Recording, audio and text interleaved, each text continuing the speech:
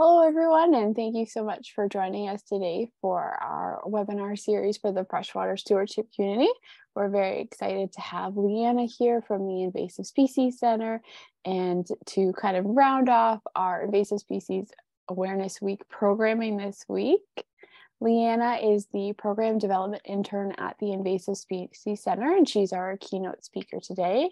And then my name is Monica. I'm the Communications and Fundraising Manager at Watersheds Canada. And there's also Nicole from our team who is the freshwater health coordinator and she is in chat to help any of you with your Q&A questions or if you're having any tech issues or if you have more questions about Watersheds Canada's programs, you are welcome to send her a private message through Zoom and we will be with you for the next little while for this presentation. If you are unaware of Watersheds Canada, I would just like to share some of our programs with you. So we are a national charity that focuses on freshwater stewardship and engagement programs. And we do this through a number of different programs like fish habitat restoration, which you can see in the top left, our Natural Edge Natural Restoration, restoration program, which is where we restore shorelines with native trees, shrubs, and wildflowers, which you can see in the top right. We have our Love Your Lake program, which is a shoreline assessment and evaluation program delivered in collaboration with the Canadian Wildlife Federation.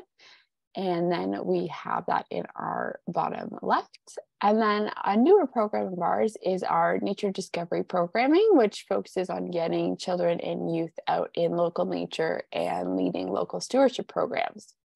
And all of our programming is funded through the generosity of individual donors, partnerships with businesses, and financial contributions from family foundations and granting organizations.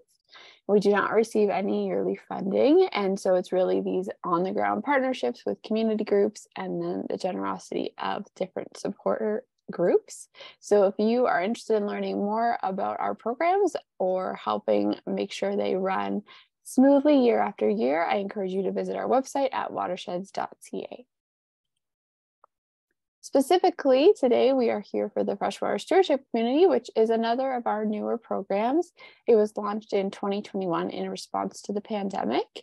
And through the Freshwater Stewardship Community, we're hosting yearly programming of webinars, lesson plans, handouts, and networking opportunities to try and connect Canadians around common issues that they're seeing happening to their freshwater areas and equipping them with resources and recent research and journals that they can use to take local action. So if you are new to our organization or to the freshwater stewardship community, everything is archived on our website.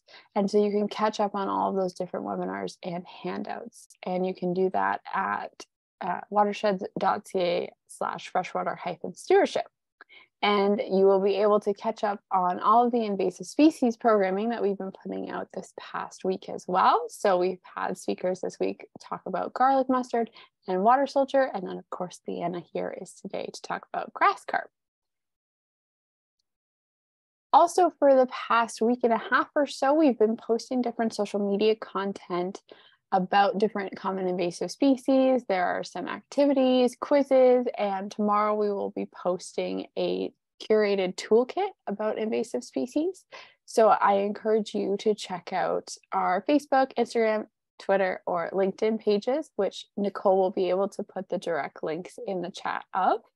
And that way you can access those resources. You can share them with your community group or your friends and family, or you can save them for the springtime when all these invasives start coming back into your community and you can know how to take action and report them to different websites.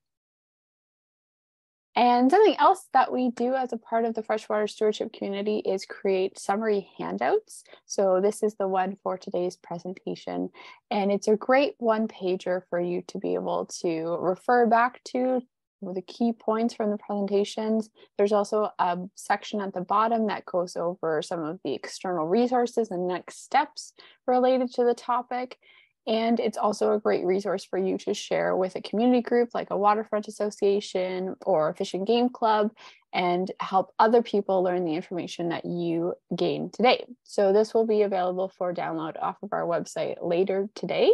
And it will also come in a follow-up email from today's presentation so that you can access it and the recording to share with others.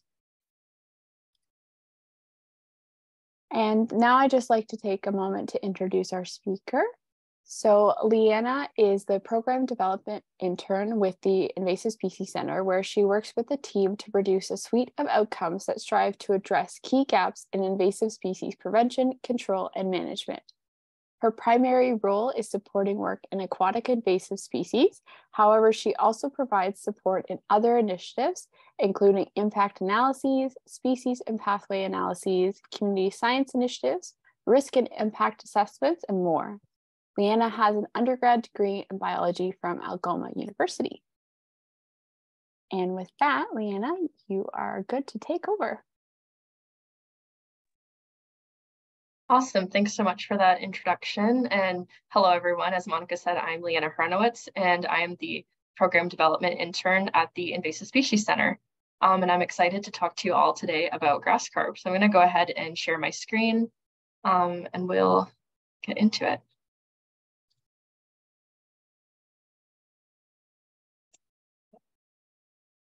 Okay, and just for the sake of bandwidth, I'm going to turn my camera off um, just so nothing is too slow.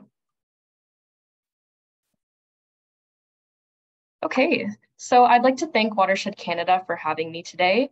Um, and I'm really excited to talk to you all about grass carp, which is one of the four species of Asian carp. I'm based out of Sault Ste. Marie, and one of my favorite hobbies is fishing. Learning about the impacts that Asian carp and especially grass carp can have on our waters has led me to be so passionate about the subject. Um, I'm excited to teach everyone about why their negative impacts matter and why you should care, because at the end of the day, we all have something that grass carp would actually negatively impact if they were to establish um, in the Canadian waters of the Great Lakes. So we're going to be talking about grass carp and specifically their threat to the Great Lakes. Um, we'll be diving into their biology, their impacts, prevention, and importantly, how you can report or how others can report suspected sightings.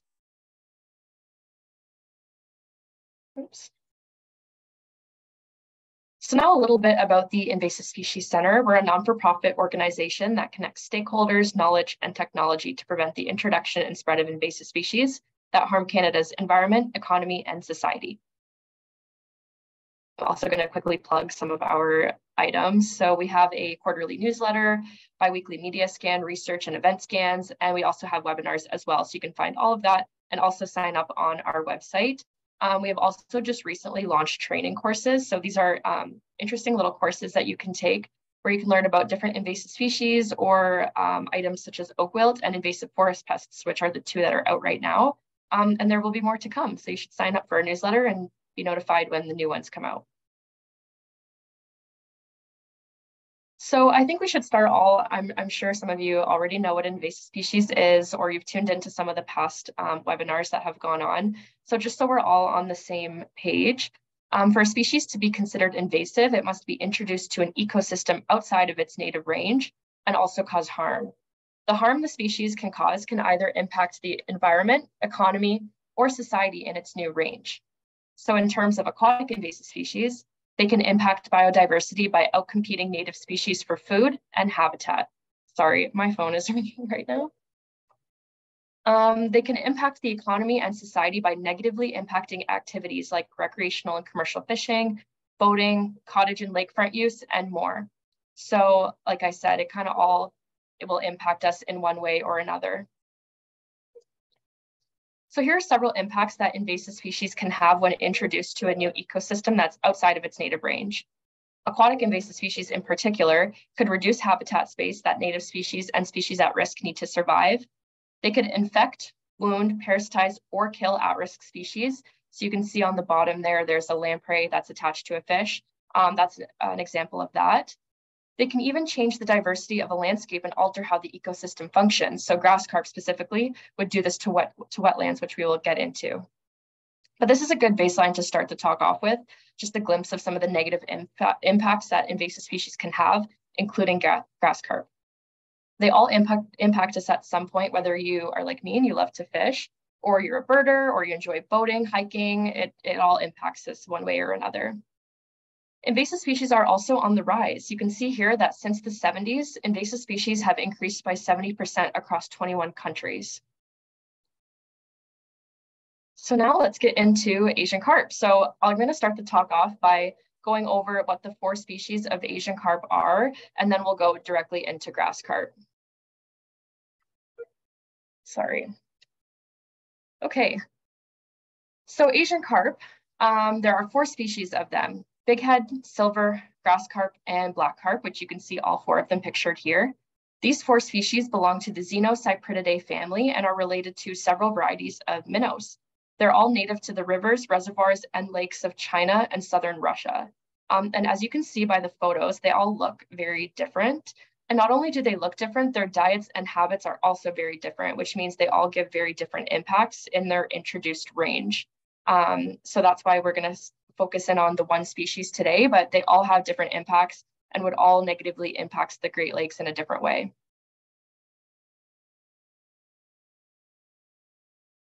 So Asian carp were introduced in the southern US in the late 60s for use as biological control in aquaculture facilities based on their specific diets. Floods allowed them to escape and eventually make their way into the Mississippi River Basin, where they're making their way up towards the Great Lakes because the Mississippi is obviously connected to the Great Lakes. So that's kind of how they're coming into this direction.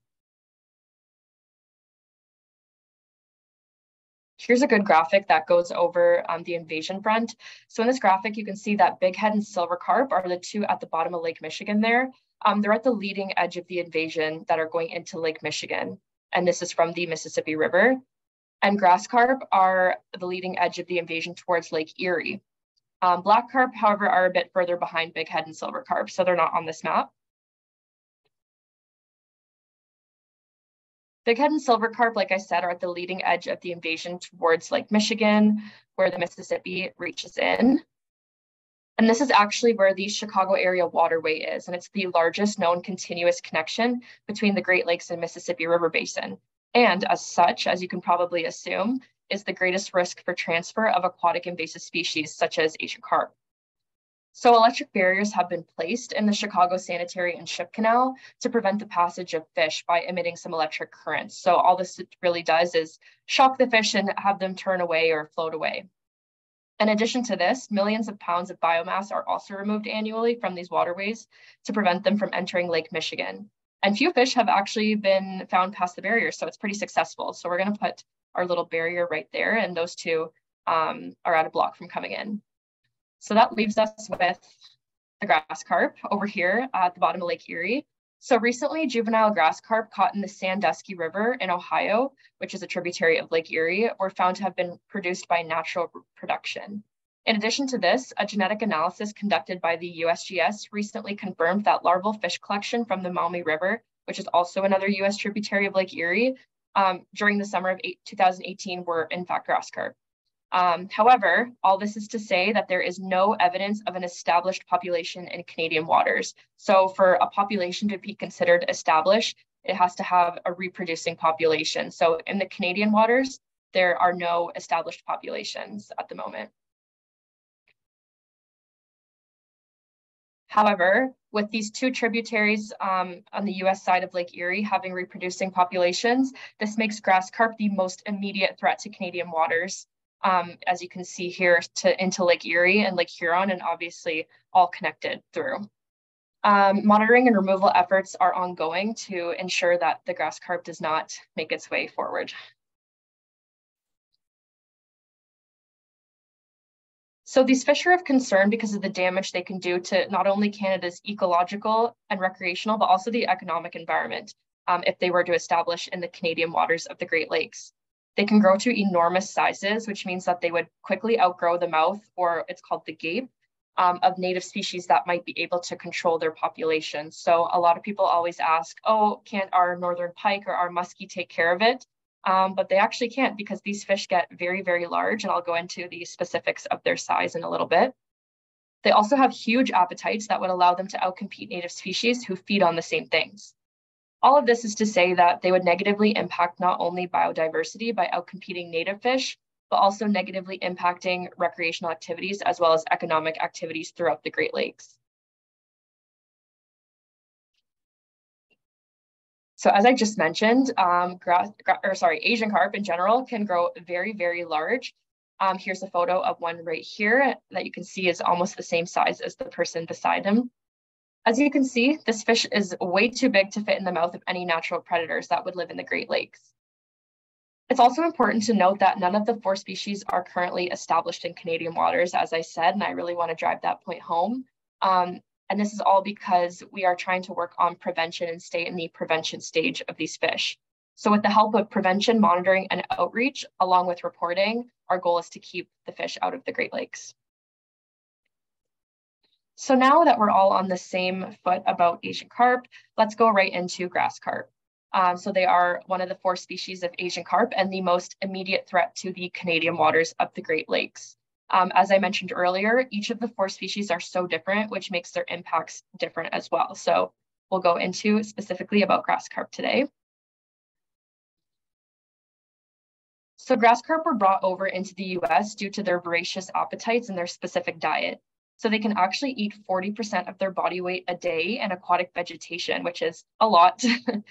Pond owners thought that this would be perfect to introduce them to control any overgrowth of aquatic vegetation that the pond might have had. So they thought, oh, our pond has tons of whatever aquatic vegetation. Let's bring them over. They can eat it, and our pond will be free of any aquatic vegetation that we don't want. However, that is obviously not the case given their diets, and we'll get into why it's such a problem. Grass carp can only digest about half of the plant material that they consume, which means the rest is expelled back into the water. This promotes toxic algal blooms and has severely negative impacts. It's also important to note that in Canada, it is illegal to import, possess, transport, release, or introduce any Asian carp unless they are dead or eviscerated. And you're probably wondering what the regulations are in the United States. Um, here's a bit of a clear image regarding grass, start, grass carp stocking policies in the US. The states that are red do not allow grass carp. So you can see at the top border in Canada, the states that are green allow diploid or fertile grass carp in the middle, and the states that are yellow allow triploid or sterile grass carp. You can see that the states that are in red are bordering the Great Lakes, which is great. However, there are some that still allow reproducing populations. Um, but again, all of this would help um, in, into avoiding introduction into the Great Lakes Basin. Now let's mo move on to the biology and some of the specific details regarding grass carp itself. As mentioned earlier, grass carp can consume up to 40% of their body weight a day in aquatic vegetation. That's almost half of their body weight a day. Um, just to put it into perspective, that's like a person eating 40 large pizzas, 430 cups of lettuce, or 180 burgers in one day. So that is a big, big appetite. Um, and that's actually what makes them such a big threat.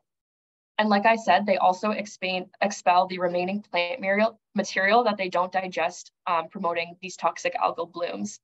Um, these eating habits alter ecosystems by reducing food availability, shelter, and spawning areas for our native fish.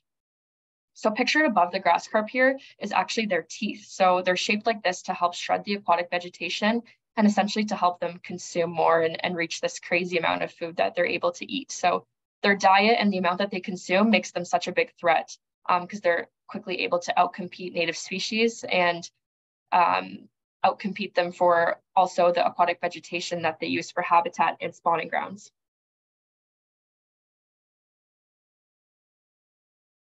Now, their preferred habitat is large flowing bodies of water, and they spawn in rivers with moderate temperatures. Um, and for egg survival, it's ideal around waters that are at 64 degrees Fahrenheit, but they're actually extremely tolerant fish and can tolerate a wide range of temperatures as low as 32 all the way up to 100 degrees Fahrenheit. So very, very tolerable fish, um, which makes them, which makes the Great Lakes no problem for them to establish in if they were able to. So these conditions are quite similar to what we experience in the Great Lakes, meaning survival and establishment would not be a problem for these fish um, if they were to enter into our waters. As I said, they're extremely tolerable, and the conditions of the Great Lakes are actually very similar to that in their native range.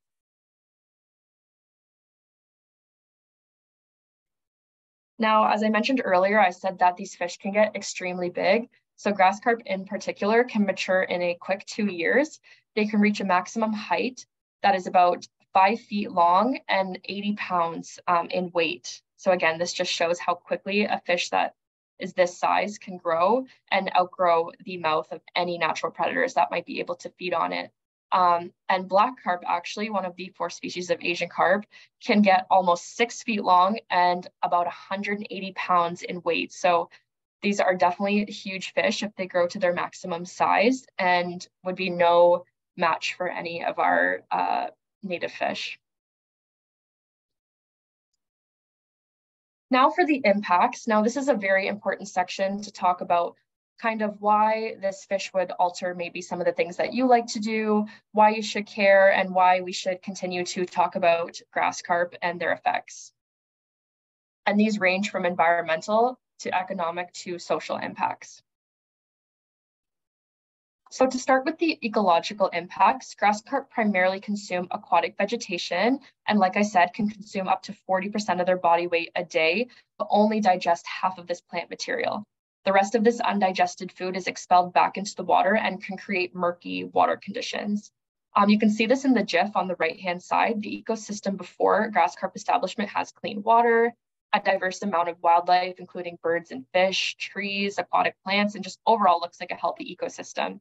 And then you can see the next slide, um, the ecosystem, oops, the ecosystem um, after grass carp establishment has murky water, less uh, species, less aquatic vegetation. And you can kind of tell that all the fish in this area are grass carp. There's no biodiversity. So you can see what a grass carp would be able to do to an ecosystem if it were to establish. So that is not something that we would love to see to our Great Lakes. Grass carp are also a huge threat to wetlands. Wetlands are an important part of the Great Lakes ecosystem and provide nursery areas for fish and also support a variety of wildlife they also control flooding, filter nutrients and harmful pollutants, and they also provide food and habitat for native fish, birds, amphibians, and reptiles. Vegetated areas near the shore areas um, would also be the most vulnerable habitats. Loss of nearshore vegetation could negatively impact water quality because plants along the shoreline slow surface runoff and filter contaminants before they reach the lake. So grass carp would be a huge threat to wetlands for that reason, um, and again, not something we'd like to see in the Great Lakes happen. Also, it's estimated that just 10 grass carp per hectare can reduce wetland vegetation by up to 50%. So just 10 grass carp can have a huge impact on our wetlands. Now, as I mentioned before, I love to fish. So this is a part that hit home for me. And if you love to fish as well, and just for the overall health of the ecosystem, it's important to have biodiversity in any species, including your fish. So grass carp would also cause negative impacts to a predicted 33 fish species. This includes some great angling species that I mentioned that I love that are found in the Great Lakes, such as smallmouth bass, largemouth bass, muskie, northern pike, walleye, yellow perch, and a lot more. Grass carp having such voracious diets would ruin suitable habitat and spawning grounds for most of these fish. They also have the ability to decrease aquatic vegetation that other fish feed on or use to ambush prey. So your northern pike and your muskie, uh, they use the aquatic vegetation to ambush prey, and they wouldn't be able to do that if grass carp were established and eating all of the aquatic vegetation. So many of these fish also spawn in these areas, and that would cause tons of issues if the grass carp were to eat all the vegetation that these fish are used are used to spawning in. And for the social impacts, grass carp would also have a variety of negative impacts to these social activities um, that you can see on your screen. They would impact recreational fishing, boating, commercial fishing, substance fishing, wildlife viewing, beaches and lakefront use, and even hunting. So I'm going to get into detail on the next slide about these, but these are all obviously social activities that most people love to do. Um, and these are actually all related to economic impacts as well. So all of these social impacts in turn turn the Great Lakes into a um, economic a large economic value with tourism, which I'll get into. So the Great Lakes Basin has proven to be an extremely valuable resource to the Canadian economy through several ventures and industries that are all related to those social or so, sorry, those social impacts that we were talking about. So the Great Lakes actually contributes 13.8 billion US dollars to the Canadian economy every year through commercial, recreational, and subsistence fishing, water use, water-based hunting, oil and gas, commercial navigation, recreational boating, beach and lakefront and wildlife viewing. So for recreational fishing, that industry is valued at 556 million US dollars. Grass carp would impact a recreational would impact recreational fishing by causing a reduction to the popular angling species that we just mentioned. Anglers also contribute a large amount of money to the economy through fishing licenses, equipment, gear, and through tourism, through traveling to go fishing. So reduced recreational fishing industries would have an impact on other businesses and livelihoods that depend on this sector, such as bait and tackle shops. In terms of subsistence fishing, Indigenous communities have inhabited the shores of the Great Lakes for generations and have cultivated a unique relationship with the rivers and lakes of the basin. Many of these communities engage in fishing activities, often relying on subsistence fishing for food and cultural purposes. Grass carp could destruct this and interfere with knowledge transfer and learning to new generations if there were less species to fish for um, and less, um, less fish in that sense. The Canadian recreational boating industry is valued at 2.3 billion US dollars. While silver carp are particular a worry for this industry because they can jump up to three meters in the air, um, which would obviously damage vessels or passengers. Grass carp would cause damage to this industry by decreasing the aesthetic value of boating areas. Um, like I mentioned, they expel half of the food that they don't eat, causing toxic algal, algal blooms. And you wouldn't necessarily want to be boating in waters with intense algal blooms that also usually relate to a pretty noxious smell. The commercial fishing industry is valued at 230 million US dollars, Grass carp would impact this industry by causing a reduction in commercial catches. Um, commercial catch size would then reduce, would be reduced in value, or sorry, would be reduced due to decreases in native fish population sizes and overall quality as a result of direct competition with grass carp for food and destruction of habitat. There would also be an increase in operational costs of commercial fishing due to the need to travel farther to catch fish, which ultimately results in a decreased amount of profits um, for that sector. Wildlife viewing is also quite popular along the shores of the Great Lakes. We've got tons of great birds and just the ecosystems around the Great Lakes are exceptionally beautiful.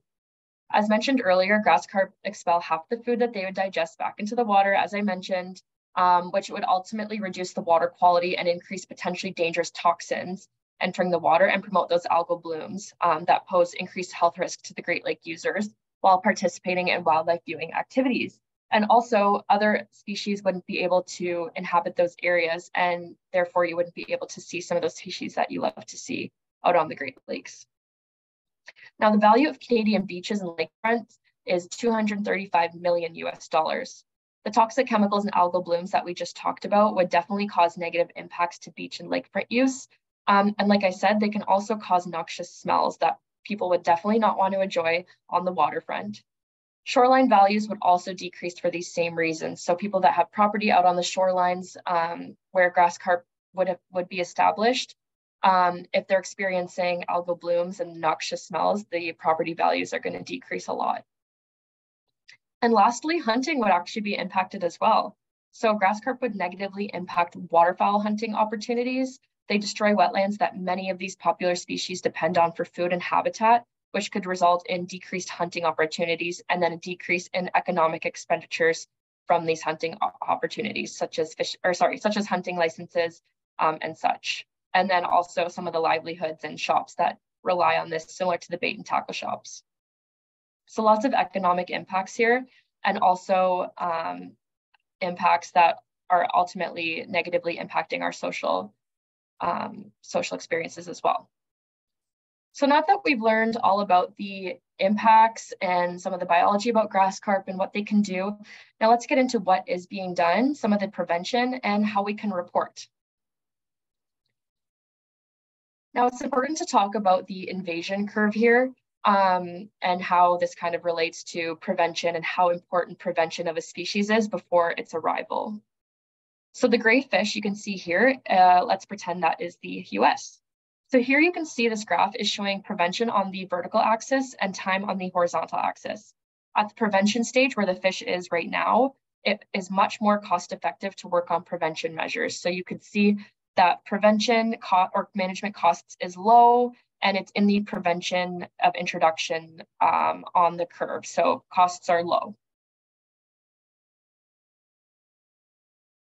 As they spread further and become more abundant, the cost increases. So this is what the US experienced, which the spread of uh, from the spread of Asian carp.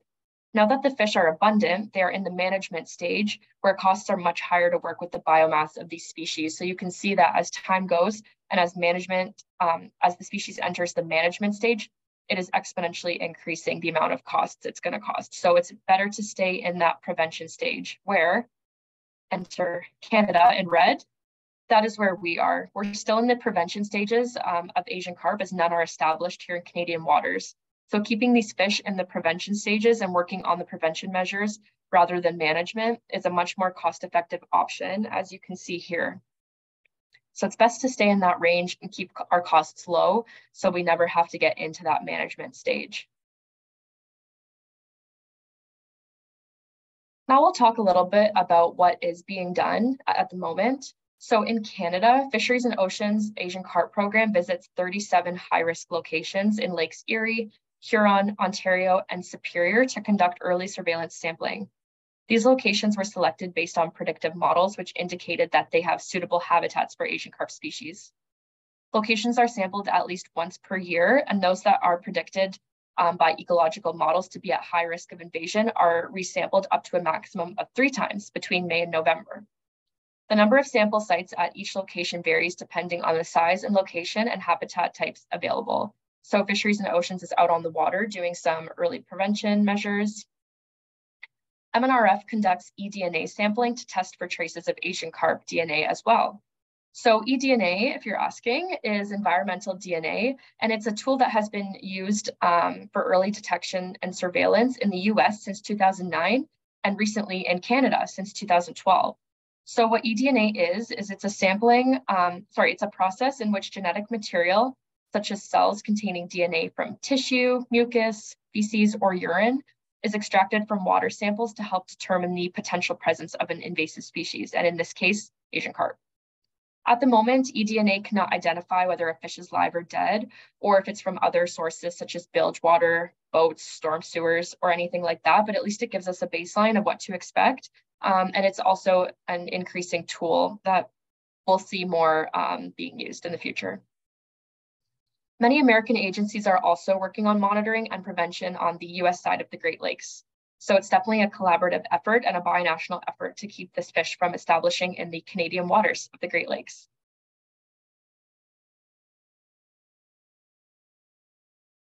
So as for us at the Invasive Species Center, we primarily, primarily work on outreach to target audiences to teach them about how to identify and report Asian carp. A few ways that we do this is through events, trade shows, webinars like this one, um, social media, and more recently, we've actually worked with influencers. So different fishing influencers because our target audience is anglers.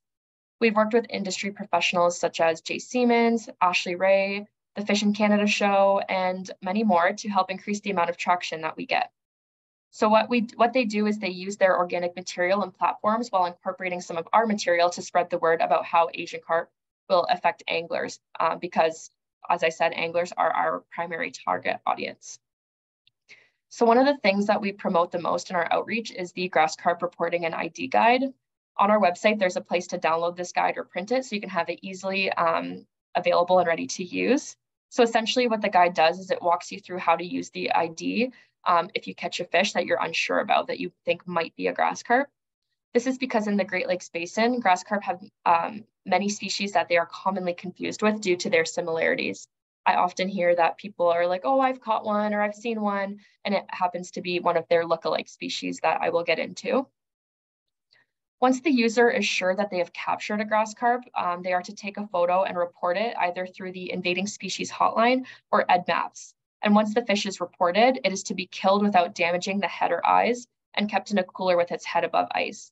And the most important thing to hear uh, here to note is to not release it back into the water um, as DFO will collect it. So the reason we primarily target uh, anglers um, to download this guide is because they are often the first set of eyes out on the water.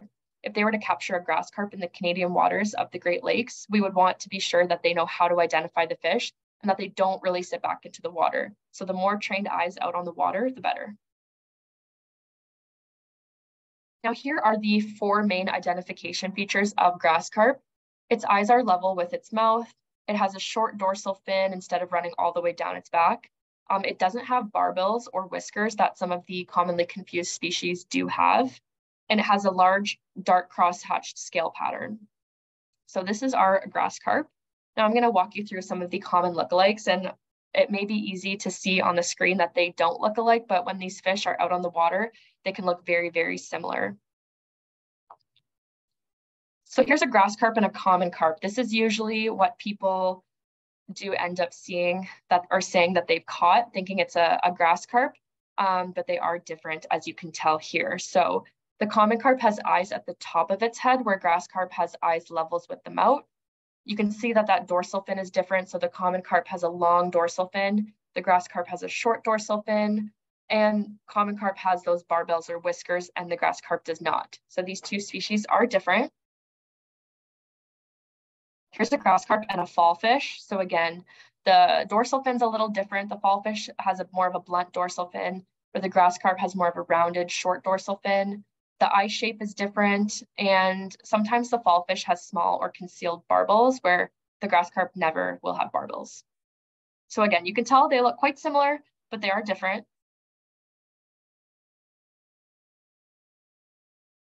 So as for legislation, there are over 30 federal and Ontario provincial acts that mention invasive species that are either intentionally or uh, incidentally introduced.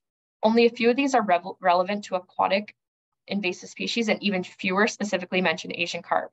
Um, we have a great section about this on our website that goes over this legislation and some of the specific details if you're curious about that. Overall, it's important to note that in Canada, it is illegal to possess, sell, trade, transport, or release any species of Asian carp unless it is dead and eviscerated.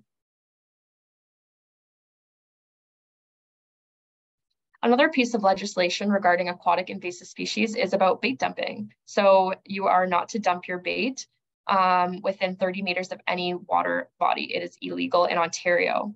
So this is because you truly may never know what exactly is in your bait bucket. This includes not only the bait, but the water too. You can see here how similar juvenile grass carp look to common baitfish species. On the top is an invasive juvenile grass carp, and on the left, um, on the left, and a native striped shiner on the right. Where on the bottom there's another invasive grass carp, a juvenile again, and a common native shiner. So um, they are very similar looking, and you just might never know what's in your bait bucket. Um, and as I mentioned, in Ontario, it is illegal to dump your bait, both live or dead, within 30 meters of any water body. Um, and this also goes for worms and dirt as well, and the water that the fish is in and everything there. So that's another way that you can help to not potentially spread invasive species. To finish, I'll leave this reporting slide here so you can see the three main ways to report an invasive species in Ontario. Your quickest route is to call the invading species hotline, but you can also report on EDDMapS online or even download the EDDMapS app, which is available for iPhone and Android and it's easy to use. Um, it's also important to note here to always take a photo and note your location. So luckily, most smartphones now um, have your location while you take a photo, but it's good to note it anyways. Um, so yeah, thank you very much for listening for listening to my presentation about grass carp.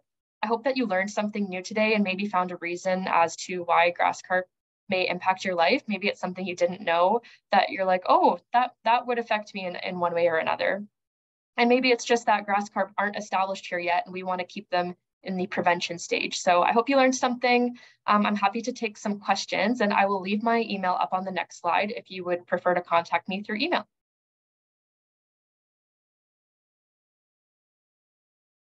Awesome. Thank you so much, Liana. A lot of great information in there. And some people have submitted questions. So we'll just go through those one at a time. I think we should have enough time for all of them. And so we'll start with a question that was actually presented in yesterday's webinar. It was with uh, staff from the Ontario Federation of Anglers and Hunters, and they were talking about some funding that was available through the Invasive Species Center. So I was wondering if you could expand on any funding opportunities that you know of, either from your organization or from other organizations. Yeah, so I believe um, they're probably talking about our microgrants. So we are happy to announce that we are offering microgrants again for the 2023-2024 um, fiscal year. So what you can do, I don't know if the application form is out yet, but um, if you go on our website or if you sign up for our newsletter, it's on there as well. But on our website, you can find the microgrant section and there'll be a spot to apply once the applications go live, which is going to be very soon. Um, you can apply for a microgrant and I believe, don't quote me on this, but I believe it's a $1,000 um, towards invasive species management. So again, um, all that information is on our website and yep, that's probably what they were talking about. Okay, perfect. The next question is a representative from a waterfront association, and they're wondering what is the step that they could be taking for Asian carp because they're not currently there. So, what could they do to engage their community and start those conversations when the invasive isn't actually in their community yet? That's a great question. And as I mentioned, prevention is so important. It's much more important than when the species is actually already there because your best bet is to keep them out as best as possible. So your best option as a waterfront um, association is to talk to people who love to go fishing or love to boat on uh, your lake, um, how to identify and report these fish. So the main thing is that we won't know that there's anything in there until either something has come up through the prevention measures and the monitoring, or sometimes anglers catch one and they don't know what it is and they just put it back in the water. So your best bet is to teach um, everybody how to identify what this fish is, how it is different from some of our native species, and how to properly report it. Great. And then the next question is from someone in Manitoba. So they were wondering if you could expand on how these fish would impact prairie provinces since Lake Winnipeg is the largest fishery outside of the Great Lakes. That's a good question. Um, and again, there's no established populations in the Canadian waters of the Great Lakes. And um, again, this is Great Lakes pretty specific, but the impacts would be the same for any body of water. So if there's um, large areas that are wetland or lots of aquatic vegetation, this species, the grass carp, would essentially wipe out most of the aquatic vegetation that would be in that lake. Um, and again, native species, they use that aquatic vegetation, they either eat it or they spawn in it. They use it to ambush predators. So this would directly outcompete um, and affect the great fishery that Lake Winnipeg is. Um, and yeah, the best bet is to prevent them from, from coming that way.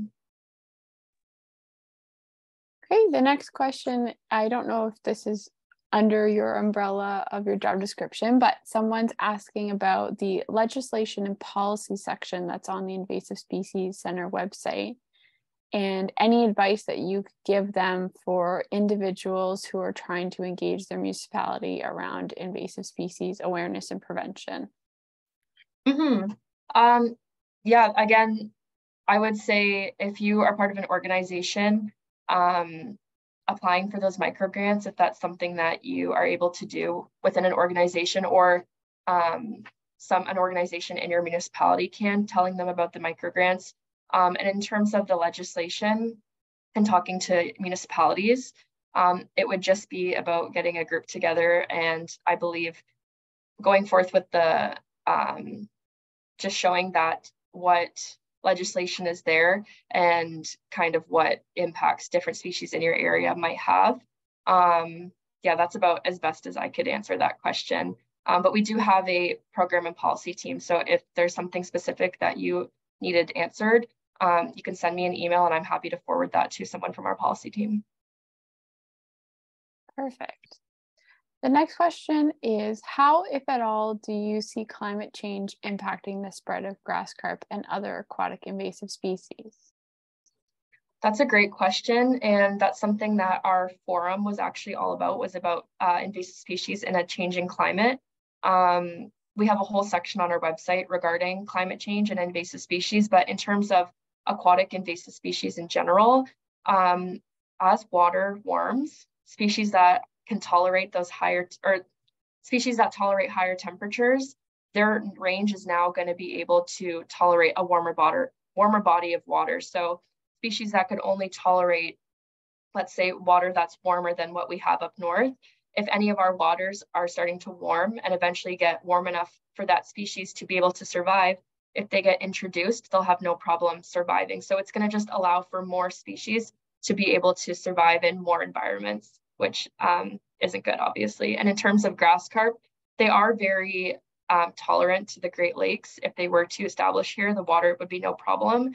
But at the end of the day, warming water and warming climate would just allow for um, them to have a higher survival rate. Okay, the next question is about grass carp specifically. Do you know if they eat Phragmites? Not too sure. That's a good question though. Um, yeah, that's a that's a very interesting question. Again, the whole reason they were brought here was for use as biological control. Um, so not only would they eat Phragmites, but they would also eat absolutely anything else that would be there. So definitely not good to use as biological control um, and because they're so easily spread. So that's not something we would want to consider. And they're also not established in Canada. So definitely not something that we would want to consider without them being established.